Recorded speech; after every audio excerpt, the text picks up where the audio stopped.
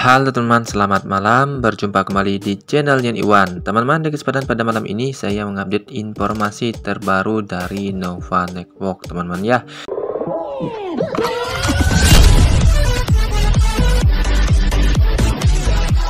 Nah, di sini Nova Network telah mengupdate informasi terbarunya tentang bagaimana caranya untuk mempercepat dari KYC, teman-teman ya. Nah, di sini pun saya masih sedang ditinjau untuk saat ini, teman-teman ya. Dan nanti kita coba lihat bagaimanakah sebenarnya proses ini eh, yang ada untuk mempercepat dari KYC. Nah, di sini saya cek di Twitternya, di Telegramnya, maupun di dalam aplikasi Nova Network itu sendiri sama, teman-teman ya.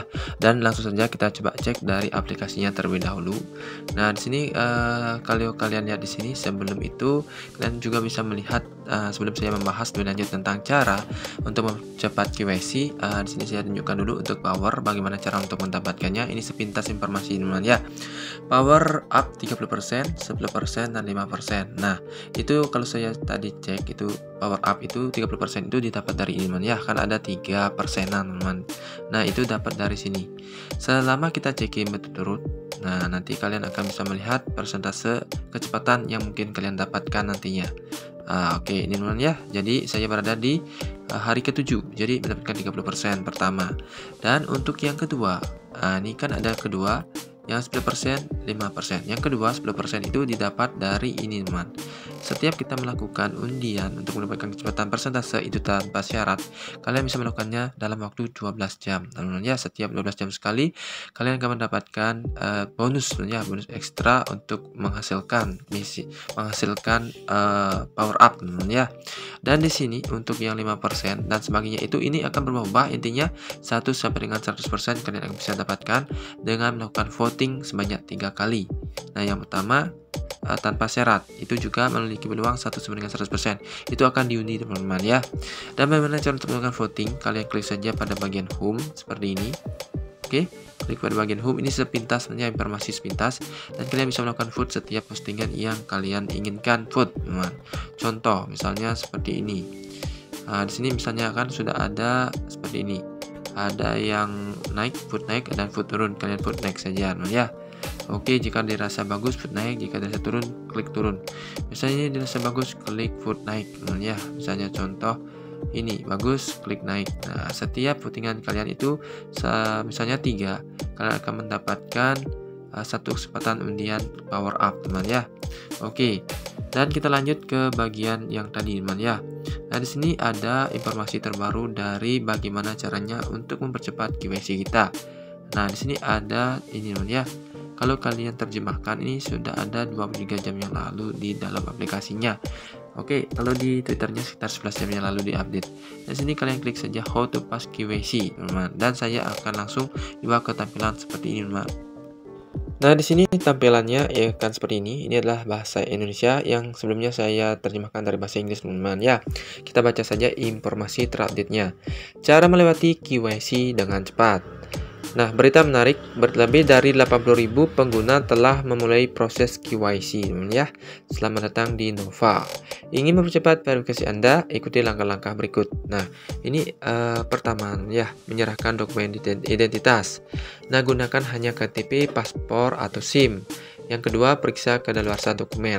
Nah, kalau misalnya kalian tidak ada kedaluarsa dokumen, misalnya seumur hidup, kalian nggak usah isi ya, atau opsional itu. Nah, di sini kirim sisi depan dan belakang KTP atau SIM. Yang keempat, uh, foto yang jelas dan tidak berubah tanpa pantulan atau buram. Yang berikutnya, jangan memotong foto atau di crop tidak boleh teman ya. Oke, jadi kalian bisa cek di sini. Nah, seperti ini. Sebar sepertinya sebelumnya sudah saya buatkan tentang video ini teman ya. Tapi ini uh, lebih jelaskan lagi. Untuk yang kedua, rekam video selfie teman ya. Menghadap ke depan dengan mata yang terlihat. Lepaskan kacamata, hindari tindakan verifikasi paksa. Misalnya menarik atau menepuk bahu. Itu tidak uh, boleh teman-teman. Yang berikut adalah tahap 3, isi data pribadi. Nah, berikan detail nama yang kurat yang cocok dengan dokumen. Masukkan detail pribadi dalam bahasa yang sama dengan dokumen. Jika dokumen Anda disediakan dalam bahasa Inggris, harap masukkan nama dan informasi Anda dalam bahasa Inggris. Misalnya gini ya, KTP-nya itu uh, misalnya nama nama misalnya namanya siapa yaitu samakan ya bahasa Inggris bahasa Inggris itu tanggal penerbitan misalnya urutannya juga nama namanya samaman tanggal penerbitan tidak diperlukan kecuali ditentukan ya kecuali ditentukan Nah, lanjut. Untuk memastikan keadilan bagi setiap pengguna, pastikan untuk memberikan informasi yang akurat, foto dokumen yang jelas, dan video selfie. Pengajuan yang benar akan ditinjau dalam waktu 24 jam. Nah, ya. Pengajuan yang benar akan ditinjau dalam waktu 24 jam.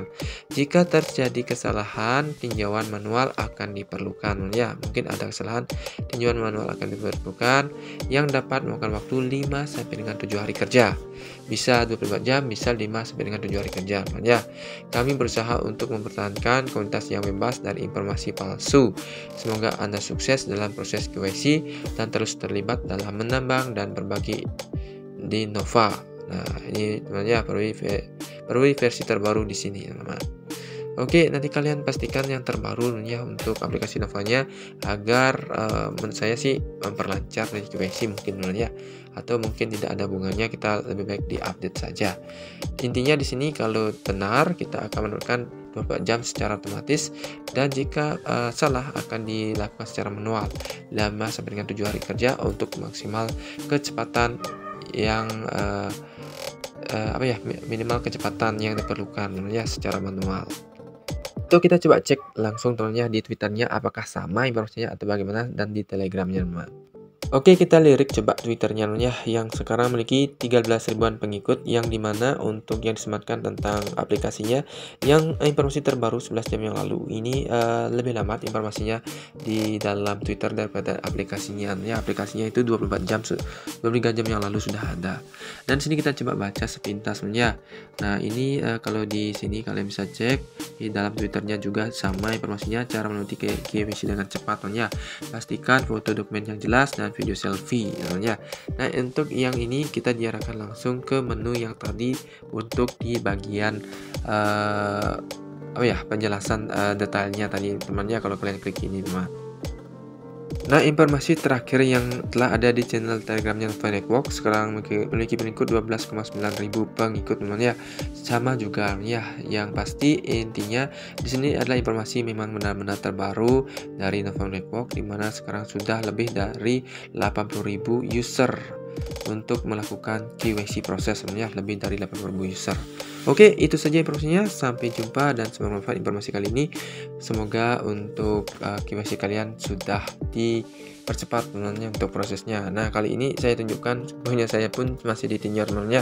Mungkin ada kesalahan atau bagaimana, teman. Nah ini adalah uh, dari punya saya ya sekarang masih sedang ditinjau. Nah bagaimana dengan kalian? Apakah sama atau tidak teman? Semoga kalian cepat KYC dan semoga dari Nova Mining, Nova Network ini memberi atau pemacuan untuk kalian. Ya itu saja jangan lupa untuk subscribe dan terima informasi berikutnya dari updatean video berikutnya. Sampai jumpa jangan lupa loncengnya.